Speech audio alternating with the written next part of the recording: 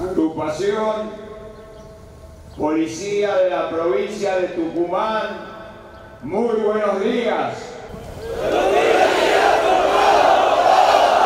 Queríamos dar un paso más de lo que venimos haciendo como una política de Estado en un área tan sensible, tan importante como es la seguridad en la provincia de Tucumán. Hoy le dimos ascenso a la policía de la provincia de Tucumán. Hemos ascendido más de 2.200 agentes. Aquellos integrantes que tienen una determinada antigüedad en la fuerza, aquellos integrantes que tienen un legajo impecable y aquellos policías que han venido demostrando con su accionar su vocación de servicio para con todas las decisiones, las actuaciones que han venido desarrollando y emanadas por sus superiores. Pero además también hemos tomado una medida que nosotros entendemos que también están recargados y son aquellos que están dentro de nuestros planes, de nuestra programación